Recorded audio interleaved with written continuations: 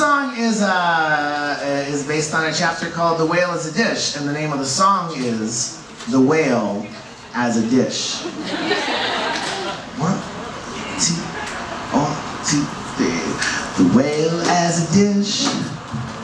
Not the most popular dish. It's too big and too fat and too weird and too exceedingly rich to be considered good by most. But five centuries ago, whale tongue was an esteemed great delicacy in France, and King Henry VIII was known to be quite partial to barbecued porters. And I heard of an Inuit doctor, his name is Zogranda, who recommends that infants suck on the blubber. Incredibly nourishing and juicy, he says. And I'm a boom. Where are we? Whale scraps. Of course, the old monks of Dunfermline had a special recipe for broiled beluga, in which the meat is made into balls about the size of billiard balls, seasoned and spiced,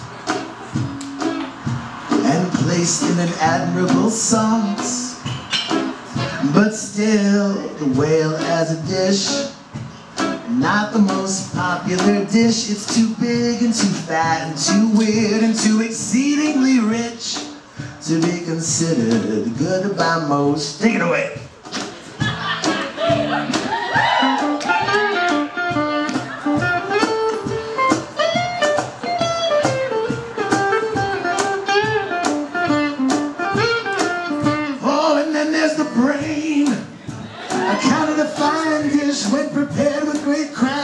The casket of the skull is broken into with an axe, and two plump whitish lobes look just like two large white puddings. You can mix them up with flour, cook them up into a most delectable mess. But just don't eat them too often.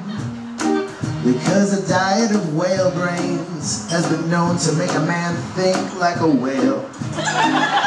And that's why the whale as a dish, not the most popular dish. It's too big and too fat and too weird, too exceedingly rich to be considered. Maybe whale would be a noble dish if you weren't so colossal of fright. But a hundred foot long meat pie tends to take away your appetite.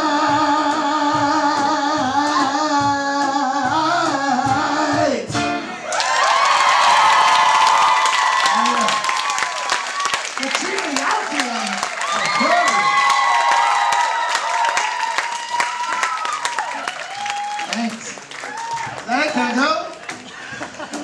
Well, Okay, is that good? uh, Oh God. I'll let you go. I'll Okay, thank you so much. That was a world premiere. you. What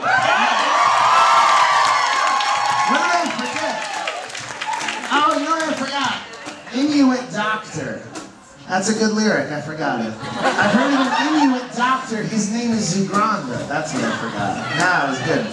Okay, next time. Thanks so much, everyone.